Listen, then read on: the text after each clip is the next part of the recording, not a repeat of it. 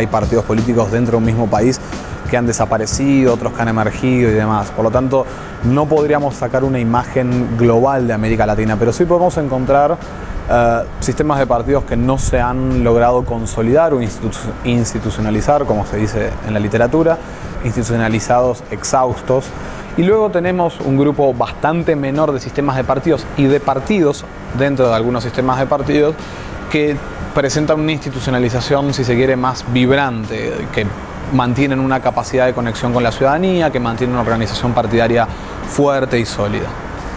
Yo creo que es bastante difícil, pero en todo caso una de las dificultades que, tienen todos los partidos de la región tiene que ver con la capacidad de consolidar una organización partidaria a lo largo del tiempo.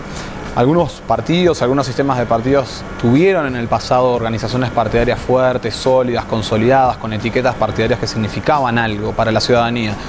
pero eso se ha perdido, digamos, en, la mayoría de los casos. Y yo creo que eso tiene que ver con los desafíos de, propios de sociedades desiguales y países en desarrollo.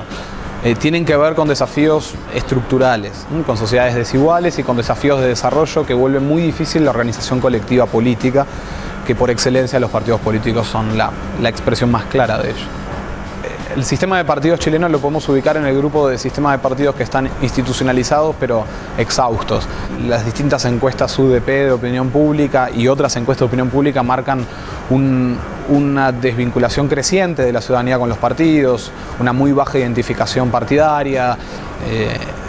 en mi investigación, en las entrevistas realizadas con distintos líderes políticos, partidarios, ellos reconocen que incluso son incapaces de, por ejemplo en algunos casos, de enviar correspondencia a sus militantes porque no saben ni siquiera quiénes son. Los partidos políticos en Chile son estables, las etiquetas